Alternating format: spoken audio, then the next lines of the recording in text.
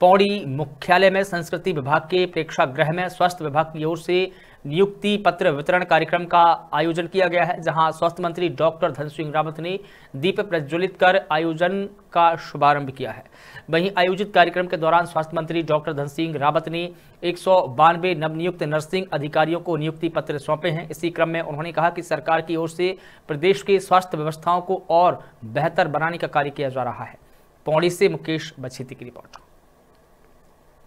हम लोग पूरे प्रदेश में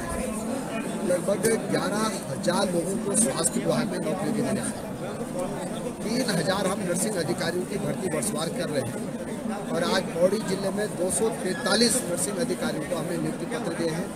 और मैं कह सकता हूँ कि पूरे देश में ये पहला मौका है कि जब हम इनकी नियुक्तियाँ वर्षवार कर रहे हैं, इसमें सारे लोग 2020 तक सभी लोगों को नौकरी मिल रही है।